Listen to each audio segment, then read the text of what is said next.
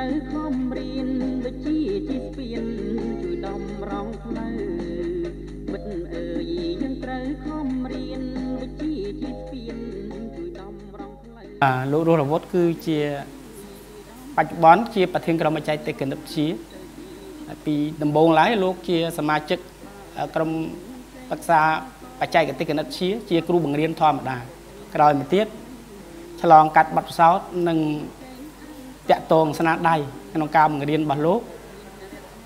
ព្រោះសិស្សមួយចំនួនរបស់លោកជាប់ជាសិស្សបកែទូទាំងរាជធានី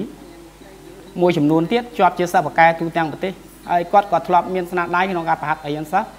ឲ្យបានចំណាត់ថ្នាក់មេដាយមាសចំណាត់លេខ1ផ្នែកគណិតវិទ្យាផងដែរហើយបច្ចុប្បន្នលោករស់អាវុធនៅតែបន្តការដឹកនាំក្រុមបច្ចេកទេសក៏ដូចជាការបង្រៀនបានដោយជោគជ័យ ហើយបន្ថែមលើនេះទៀតនោះលោករស់អាវុធលោកបានប្រឹងប្រែងក្នុងការសិក្សាបន្ថែមរហូតដល់បានបញ្ញាបត្រភាសាអង់គ្លេសនិងសញ្ញាបត្របណ្ឌិតផ្នែកវិទ្យាសាស្ត្រនយោបាយបាទហើយបច្ចុប្បន្នលោកនៅនៅតែជាគ្រូឆ្នើមនិចធ្លូក្នុងការដឹកនាំក្នុងអង្គភាពក៏ដូចជានៅក្នុងក្រមបច្ចេកទេសរបស់លោក យើងមើលជាទូទៅរបស់យើងមិញទេដើម្បីដោះស្រាយសម័យកាលដើក្រេទី1ខ្ញុំសូមជម្រាបសួរខ្ញុំ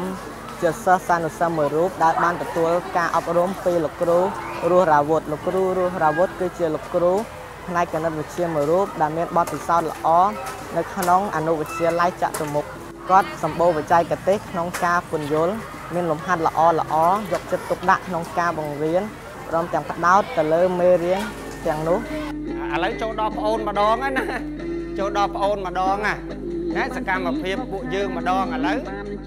បាទខ្ញុំបាទឈ្មោះរស់រវត្តបច្ចុប្បន្នជាគ្រូនៅអនុវិទ្យាល័យចតុមុខក្នុងរយៈពេលនៃការធ្វើគ្រូបង្រៀននេះខ្ញុំបានបង្រៀនអស់រយៈពេល28ឆ្នាំហើយហើយខ្ញុំបានតែងតែបានយកអស់កម្លាំងកាយចិត្តក្នុងការបង្រៀននិងរៀនក្នុងការបង្រៀននេះ ខ្ញុំតែងតែជួយជំរុញគ្រប់សាសានុសិស្សទាំងអស់អឺមិនថាសាសានុសិស្សជាកូនអ្នកមានជីវភាពទូធាឬក៏ជាកូនដែលអ្នកដែលមិនមានជីវភាពទូធានោះទេខ្ញុំតែងតែយកចិត្តទុកដាក់ទាំងអស់ក្នុងការបង្រៀនដល់ពួកគេ ដើម្បីឲ្យពួកគេមានចំណេះដឹង ទៅថ្ងៃអនាគតខ្ញុំមានការភ្ញាក់ផ្អើលណាស់ហើយខ្ញុំរំភើបណាស់នៅនៅពេលដែល ឮថាខ្ញុំបានត្រូវបានក្រសួងអប់រំជ្រើសរើសបានជាគ្រូល្អខ្ញុំមិននឹកស្មានថាខ្ញុំមានដល់ថ្ងៃនេះនៃការខិតខំប្រឹងប្រែងរបស់បងខ្ញុំជំនុំមុខឲ្យគណៈគ្រប់គ្រងសាលាជំនុំមុខឲ្យលោកគ្រូអ្នកគ្រូរួមនឹងសិស្សានុសិស្សទាំងអស់នៅអនុវិទ្យាល័យចាក់មុខ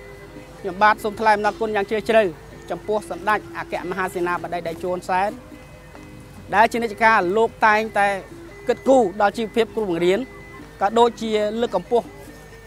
វិស័យអប់រំនៅប្រទេសកម្ពុជាយើង